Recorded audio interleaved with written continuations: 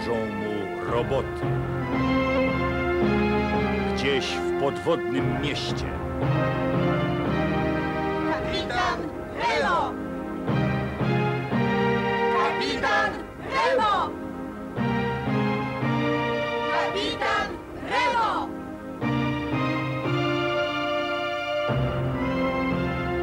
może hibernować,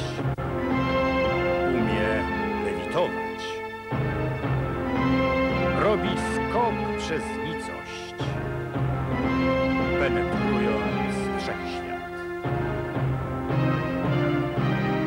Kapitan Remo! Kapitan Remo! Kapitan Remo!